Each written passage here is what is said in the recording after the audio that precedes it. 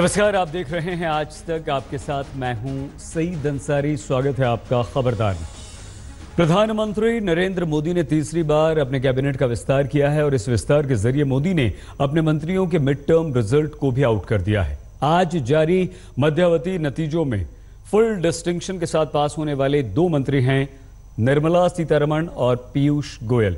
निर्मला को अभूतपूर्व प्रमोशन भी दिया गया है। वो राज्य मंत्री से सीधे रक्षा मंत्री बना दी गई हैं। पीयूष गोयल को रेलवे दे दिया गया है और ये भी पीयूष गोयल के लिए बहुत बड़ा इनाम है।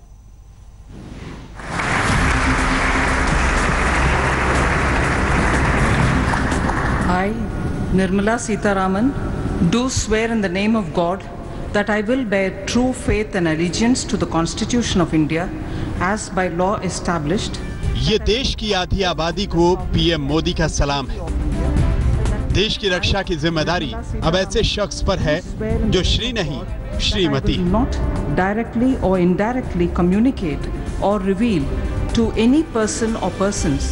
यानी पहरेदारी के दायित्व पर पुरुषों के पारंपरिक वर्चस्व को मोदी सरकार ने आज से खत्म कर दिया। निर्मला सीतारमन को रक्षा मंत्री बनाकर मोदी ने इतिहास बदल दिया। मैं तो ये मानती हूँ पहले कि प्रधानमंत्री जी के इस निर्णय के लिए मैं उनको धन्यवाद कहना चाहती हूँ। ऐसे ही पार्टी के अध्यक्ष अमित शाह जी को धन्यवाद कहना चाहती हूँ।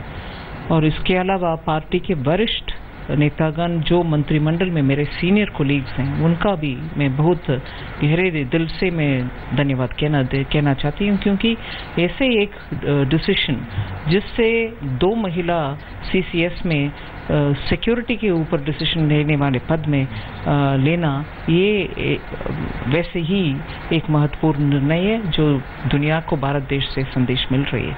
इसीलिए मैं इसको एक बहुत ही इम्पोर्टेंट डिसीज़न मानती हूँ उन उन सबके कोऑपरेशन के साथ मैं कड़ी उतरूँगी। तो आज से निर्मला सीतारमन 125 करोड़ की आबादी वाले हिंदुस्तान की सरहदों को दुश्मनों से सुरक्षित रखने की नीतियाँ बनाएँगी। दुश्मनों को ध्वस्त करने वाले विध्वंसक हथियारों की खरीद, यानी अरबों की डिफेंस डील अब इन्हीं के दस्तखत से होगी।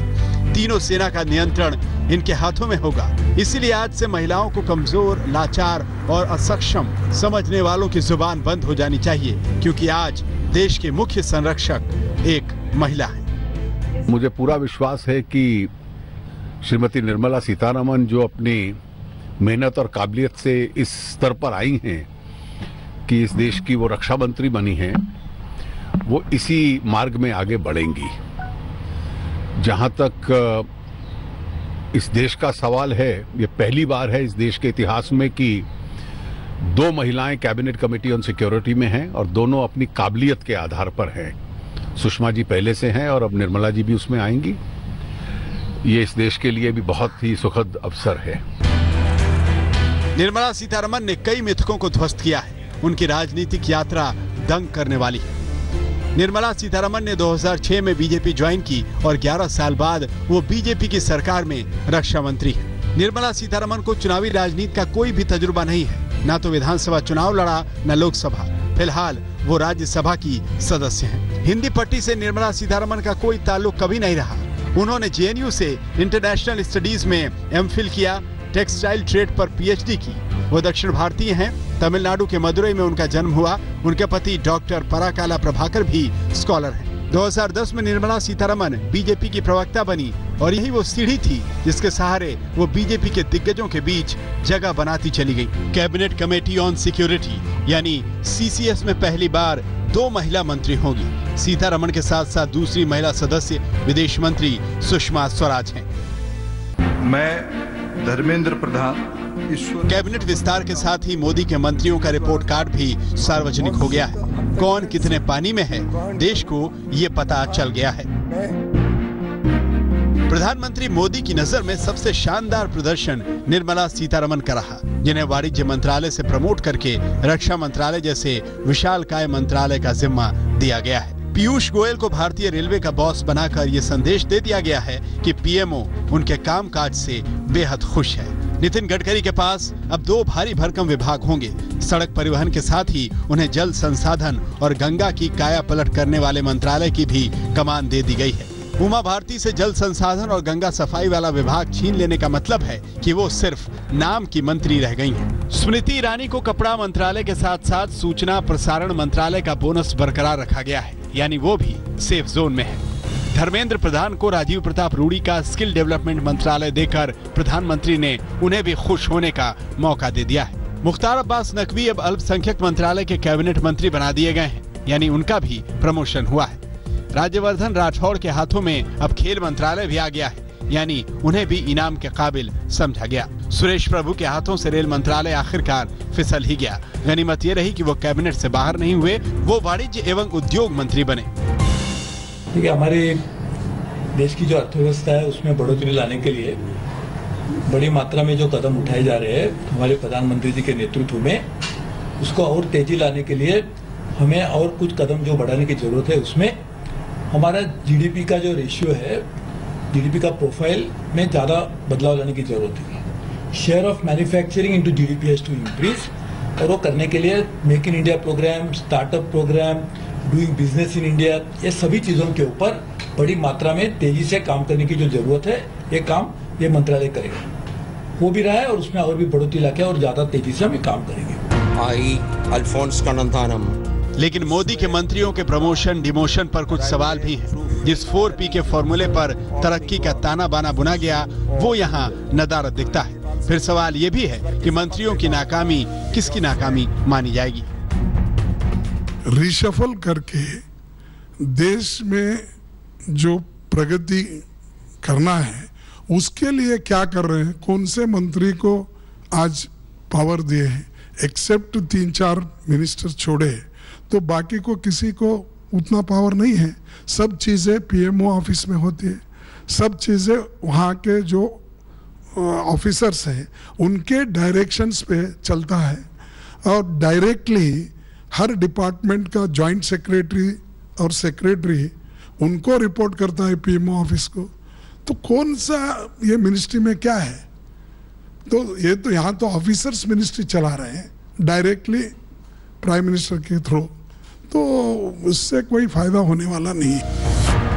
विपक्ष सवाल उठा रहा है, लेकिन पीएम मोदी मंत्रियों को शपथ दिलाकर चीन कूच कर चुके हैं। शायद ये आखिरी कैबिनेट विस्तार है, इसीलिए पीएम मोदी को विपक्ष की नहीं, जनता की चिंता करनी है। संजय शर्मा के साथ मंजीत नेगी, दिल्ली, आज तक। और खबरदार में अब हम प्रधानमंत्री नरेंद्र मोदी के चीन के दौरे का पूरा विश्लेषण करेंगे, जहाँ ब्रिक्स सम्मेलन में चीन और पाकिस्तान की नापाक दोस्ती पर करारा प्रहार करने की तैयारियाँ पूरी हो चुकी हैं। भारत ने ब्रिक्स सम्मेलन में पाकिस्तान प्रायोजित आतंकवाद पर चीन को बेनकाब करने का पूरा प्लान बना लिया है, जिससे चीन तिलमिला गया है।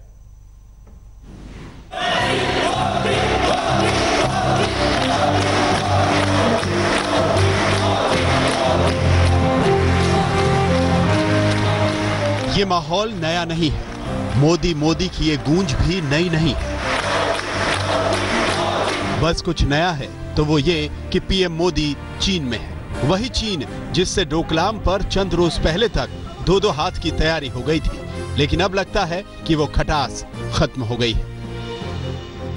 प्रधानमंत्री नरेंद्र मोदी यहाँ शामन चीन पहुँच चुके हैं और जो वेलकम जो उनका स्वागत करा जा रहा है यहाँ पर उससे पता चलता है कि जो डोकलाम का, का मुद्दा था चीन और भारत के बीच वो आ, बिल्कुल ही सुलझ गया है जो यहाँ पे आ, स्वागत कर रहे हैं लोग। हम देख रहे हैं कि काफ़ी सारे लोग थे जो इंडियन कम्युनिटी के थे जो भारतीय थे आ, और और चाइनीज़ ऑफिशियल्स भी थे चाइनीज़ लोग भी थे आ, कई सारे होटल के स्टाफ मेंबर्स भी थे जो वहाँ पे थे वेट कर रहे थे सेल्फी लेने के लिए नरेंद्र मोदी जी के साथ। मोदी श्यामेन आए हैं। यहाँ कल से ब्रिक्स का सम्मेलन होना है। ये चीन का दूसरे दर्जे का शहर है। आप इसे चीन का पटना या लखनऊ भी कह सकते हैं, लेकिन इसकी तरक्की के आगे दिल्ली और मुंबई कमज़ोर पड़ जाएगी।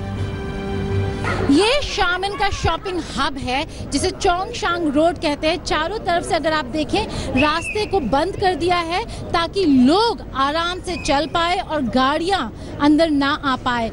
पूरी जो जनता है शामिल की आपको सैटरडे संडे यहीं पे मिलेगी। इन, ये लोग यहाँ पे आते हैं या फिर समुद्र के तट पे जाते हैं बीचेस में जाते हैं। लेकिन अगर आप यहाँ का इंफ्रास्ट्रक्चर देखें और जो अगर दुकानें देखें, जो फ़ैशन सेंस है वो देखें तो न्यूयॉर्क को भी ये पीछे छोड़ सकता है। ऐसा शहर है, जबकि ये चीन के छोटे शहरों में गिना जाता है। मेरी पहली इंप्रेशन है कि ये, जो second tier tier two town है बट फिर भी इसकी जो इंफ्रास्ट्रक्चर है is far more better than any of the Indian cities and also you know world across we have visited many continents और uh, कई जगहों को देखने के बाद लगता है कि the kind of investment government has done the kind of cleanliness we fine the beautiful infrastructure but we have border की सिचुएशन जो भी हो, लेकिन देश में आने के बाद लगता है कि we are well accepted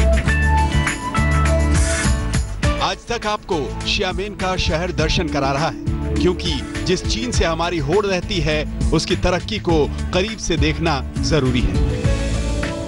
infrastructure देख के पता चलता है कि चीन कई आगे है जहाँ आप अगर मुकाबला करें भारत के टीयर टू सिटीज़ से जो लखनऊ, पटना जिनको टीयर टू सिटीज़ कहते हैं, आप इंफ्रास्ट्रक्चर देखिए, आप यहाँ के बिल्डिंग्स यहाँ के रोड्स यहाँ के फ्लाईओवर्स यहाँ के पोर्ट्स देख के पता चलता है कि कितना काम किया है चीन की सरकार ने ये ये इंश्योर करने के लिए कि उनके लोग एक डेवलप्ड नेशन और अगर डेवलपिंग नेशन भी है तो एक डेवलप्ड नेशन के के, के इंफ्रास्ट्रक्चर को एंजॉय कर सके। शियामेन के इस खूबसूरत और रोमानी माहौल में कल से कूटनीति की नई कसरतें शुरू होंगी। भारत ने साफ़ कह दिया है कि व्यापार कारोबार के साथ साथ आतंकवाद पर भी ज़रूर बात होगी क्योंकि पाकिस्तान में पलने वाले आतंक के आकाओं को चीन का साथ अब भारत को असहनीय हो चला है। पिछला ब्रिक्स सम्मेलन गोवा में हुआ था, जहाँ आतंकवाद का मुद्दा उठा था। लेकिन आज चीन को मिर्ची लग रही है। चीन के विदेश मंत्रालय का बयान आया है कि आतंकवाद पर पाकिस्तान का रवैया ब्रिक्स समिट के लिए सही मुद्दा नहीं है। हमें मालूम है कि भारत की कुछ चिंताएँ हैं, लेकिन यह मुद्दा उठाने पर समिट अपने मकसद से भटक सकती है। चीन अपने करीबी सहयोगी की किसी भी तरह की आलोचना को बर्दाश्त नहीं करेगा। वैसे पाक खुद भी आतंकवाद से पीड़ित है। आतंकवाद पर चीन कब तक आँखें मूंद कर बैठा रहेगा?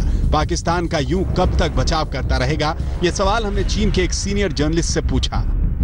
Uh, you're talking about terrorism and the fact that that has nothing to do with the fact that India and China are good, uh, good, um, have great ties, and so do uh, China and Pakistan. But there are concerns that India has with regards to certain terrorists, like Masood Azhar at the United Nations, and China blocking India's move. These are the reasons why India questions the intent of China. What do you have to say on that? But is, um, I think India also blocks some ways for China to uh, involved in any engagement in Indian Ocean. So this is the, just equal. PM Modi के लिए ये एक और मोर्चा फतह करने का मौका है दुनिया को ये संदेश जाना चाहिए कि चीन आतंकवाद पर कैसे भाईचारा निभा रहा है गीता मोहन के साथ अनंत कृष्णन श्यामेन आज तक पूरी दुनिया की नज़र इन दिनों उत्तर कोरिया पर लगी है, क्योंकि उत्तर कोरिया खतरनाक हथियारों का जखीरा इकट्ठा करने में लगा हुआ है और इस जखीरे में अब हाइड्रोजन बम जैसा खतरनाक विनाशकारी बम जुड़ गया है। हाइड्रोजन बम का परीक्षण करके उत्तर कोरिया ने यह दावा भी ठोक दिया है कि वो महज आधे घंटे में हाइड्रोजन बम से अपनी मिसाइलों को लैस कर सकता है, कई देशों में तबाही मचा सकता है।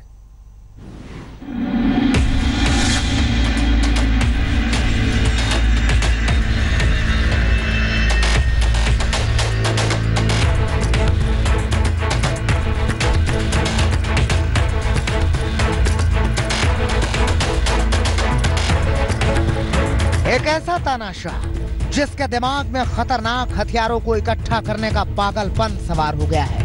एक ऐसा तानाशाह जिसकी जिद दुनिया भर के लिए खतरे का अलार्म बजा रही है। एक ऐसा तानाशाह जिसके जहन में तबाही के मंसूबे पलते हैं। जी हाँ किम जोंगुन, नॉर्थ कोरिया का राष्ट्रपति। यूँ तो अपनी हरकतों को लेकर किम जोंग उन हमेशा से चर्चा में रहता है। मगर इस बार किम जोंग उन ने जो किया है, उसने पूरे विश्व की साँसें उखाड़ कर रख दी हैं। किम जोंग उन ने इस बार हाइड्रोजन बम का परीक्षण किया है।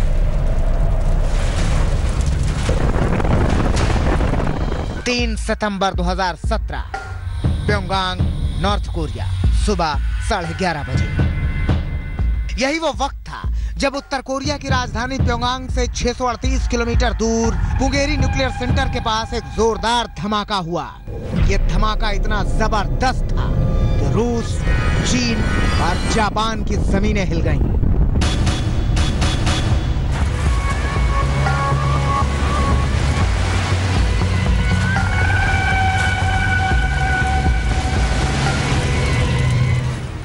国際社会の度重なる 警告を無視して北朝鮮が核実験を強行しました我が国は断じて容認できません米国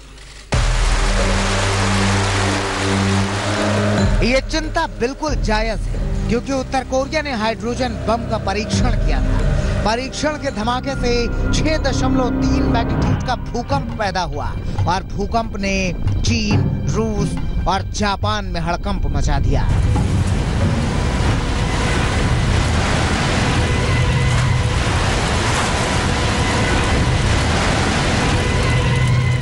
इस परीक्षण के बाद अमेरिका के राष्ट्रपति तिलमिला उठे डोनाल्ड ट्रंप ने ट्वीट किया। उत्तर कोरिया ने बड़ा न्यूक्लियर टेस्ट किया है। उसकी कथनी और करनी अमेरिका के लिए खतरनाक है। चीन के लिए नॉर्थ कोरिया खतरा और शर्मिंदगी है। सिर्फ़ अमेरिका ही नहीं, भारत की तरफ़ से भी इस हाइड्रोजन बम के परीक्षण पर चिंता ज़ाहिर की गई। भारत की तरफ़ से कहा गया, हाइड्रोजन बम का परीक्षण अंतर्राष्ट्रीय समझौतों के खिलाफ है। कोरिया को इस तरह की एक्टिविटी से दूर रहना चाहिए, जिससे विश्व की शांति को खतरा हो। हाइड्रोजन बम का ये परीक्षण उत्तर कोरिया के उस दावे के कुछ ही घंटों के बाद किया गया, जिसमें उसने अंतर महाद्वीपीय मिसाइल में लोड किए जाने वाले हाइड्रोजन बम को विकसित करने की बात कही थी। यह विनाशकारी हाइड्रोजन बम है। इसे समझिए।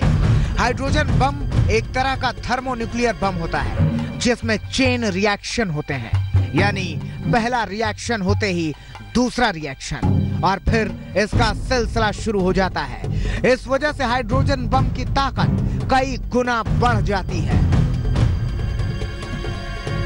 बड़ा एटम छोटे एटम्स के अंदर टूटता है और उससे जो एनर्जी प्रोड्यूस होती है, वो एटॉमिक बम की टेक्नोलॉजी है। इसमें दो छोटे एटम जुड़ते हैं और एक बड़ा एटम प्रोड्यूस होता है। ये हाइड्रोजन बम की टेक्नोलॉजी है और हाइड्रोजन बम एक तरह से टू स्टेज बम होता है नॉर्मली क्योंकि इसको बनाने के लिए आपको atomic bomb as a trigger use करा जाता है। तो आप ये सोचिए कि उससे जो एनर्जी प्रोड्यूस हो रही है, वो इसे, इसका ट्रिगर है।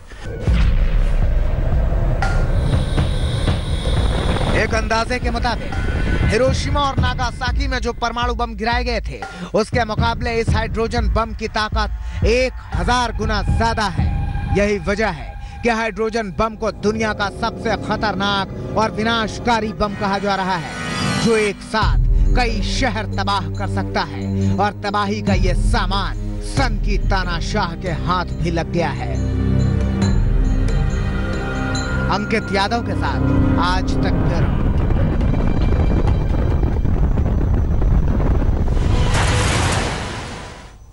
उत्तर कोरिया का ये तानाशाह नियम कायद कानून कुछ भी नहीं मानता, उसके अपने नियम हैं, अपने कायदे हैं, और वो नियमों के विरुद्ध जाकर लगातार खतरनाक हथियार बना रहा है।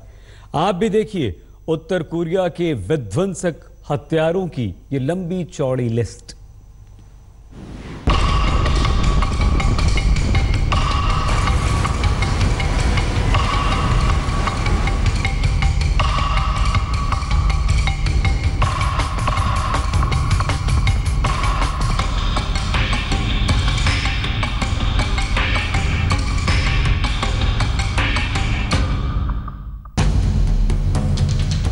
किम जोंग उन ये वो नाम है दुनिया में जिसकी पहचान हद दर्जे तक पागलपन की हरकतें करने वाले इंसान की है।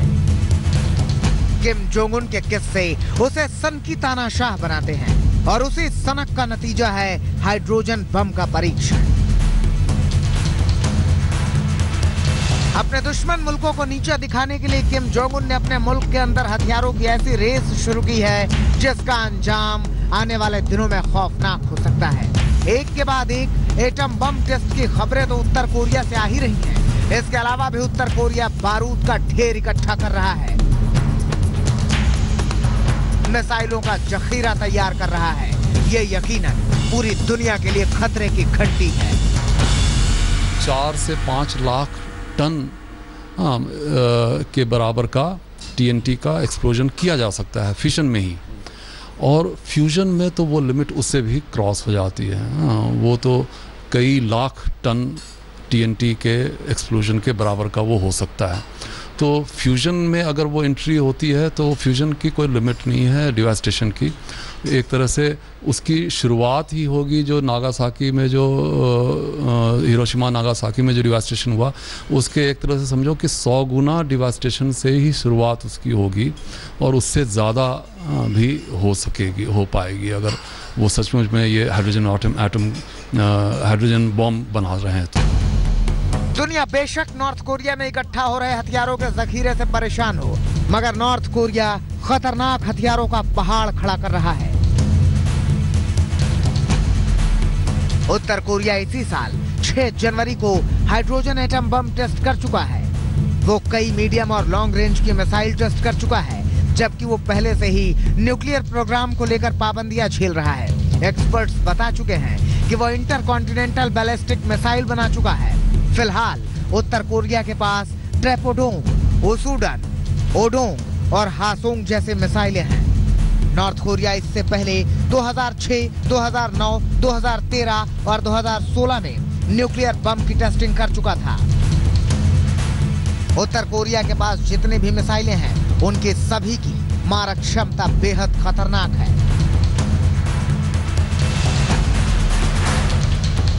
Institute of science and international security के मुताबिक 2013 तक उत्तर कोरिया के पास प्लूटोनियम और यूरेनियम के जखीरों के अलावा 12 से 27 परमाणु हथियार थे, जबकि 2016 तक ये आंकड़ा और बढ़ गया। माना जा रहा है कि हर हथियार में 20 किलोग्राम ग्रेड यूनियन का इस्तेमाल किया गया है। उत्तर कोरिया ऐसा मुल्क नहीं है जो संयुक्त राष्ट्र के कायदे कानूनों को मानता हो। इसलिए पूरे विश्व में सन की तानाशाह को लेकर चिंता बनी हुई है। आज तक ब्यूरो। उत्तर कोरिया ने हाइड्रोजन बम का परीक्षण करके सीधे सीधे अमेरिका को चेतावनी दी है, मगर अमेरिका ने भी अपनी तरह से कोरिया को खबरदार कर दिया है। लेकिन ये मामला दो देशों का नहीं, पूरी दुनिया का बल्कि है, क्योंकि हाइड्रोजन बम पूरे विश्व की शांति के लिए खतरा है और उत्तर कोरिया के निशाने पर कई सारे देश हैं। हाइड्रोजन बम के परीक्षण का यह धमाका हुआ तो नॉर्थ कोरिया में है, मगर इसके धमक पूरी दुनिया सुन रही है, खासकर वो मुल्क जिनसे नॉर्थ कोरिया की तनातनी है। उत्तर कोरिया और अमेरिका के बीच एक दूसरे को तबाह कर देने की धमकियों का दौर चल रहा है। पिछले दिनों उत्तर कोरिया ने प्रशांत महासागर में जापान की ओर से एक मिसाइल दागी थी। जिसके बाद डोनाल्ड ट्रंप ने कहा था कि अमेरिका के सभी हथियार बस एक इशारे का इंतज़ार कर रहे हैं। ट्रंप ने जापान के प्रधानमंत्री शिंजो आबे से फ़ोन पर बात कर उत्तर कोरिया पर दबाव बनाने को भी कहा था। हाल ही में यूनाइटेड नेशंस ने नॉर्थ कोरिया पर बड़ा आर्थिक प्रतिबंध भी लगा दिया था। इससे किम का गुस्सा और बढ़ गया। उसने साफ़ कर दिया था कि मिसाइल प्रोग्राम तो नहीं रुकेंगे। और उसके निशाने पर अब अमेरिका ही है। इस धमकी से नाराज़ डोनाल्ड ट्रंप ने नॉर्थ कोरिया में विध्वंस की बात कर डाली, लेकिन ट्रंप की चेतावनी ने किम को और भड़का दिया और उसने जवाब में एक और चेतावनी दे डाली। उत्तर कोरिया ने 9 अगस्त को कहा, नॉर्थ कोरिया मध्यम दूरी की बैलिस्टिक मिसाइलों से अमेरिका के सामरिक सैन्य प्रतिष्ठानों के समीप हमले करने पर विचार कर रहा है। हमारे पास थर्मोन्यूक्लियर हथियार हैं। जो कि परमाणु बमों से कहीं ज़्यादा विध्वंसक हैं। जनवरी में कोरिया ने जब चौथी बार परमाणु परीक्षण किया और दावा ठोका कि उसने छोटा हाइड्रोजन बम विकसित कर लिया है, तब वैज्ञानिकों ने उसके दावे को झूठ करार दिया था। पांचवा परीक्षण करते हुए कोरिया खामोश रहा, लेकिन छठे परमाणु परीक्षण के साथ उसकी आक्रामकता और बढ़ गई है। उत्तर कोरिया में अब लोगों को ये लगने लगा है कि छठे धमाके के साथ ही अब वो परमाणु युद्ध की धमकियों में अमेरिका की बराबरी पर आकर खड़ा हो गया है।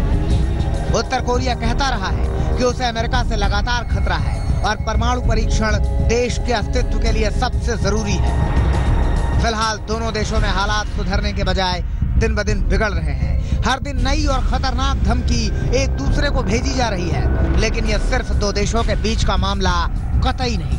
हाइड्रोजन बम जैसे हथियारों का बनना पूरे विश्व की शांति के लिए खतरा है। आज तक ब्यूरो।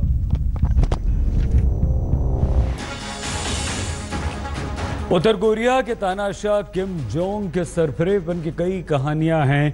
किम जोंग एक तरफ़ जहाँ अपने हथियारों से दुनिया के दूसरे देशों को डराता है, वहीं अपने ही देश के तमाम दोस्तों, दुश्मनों को ठिकाने भी लगाता है। उसकी क्रूरता के कई किस्से मशहूर हैं।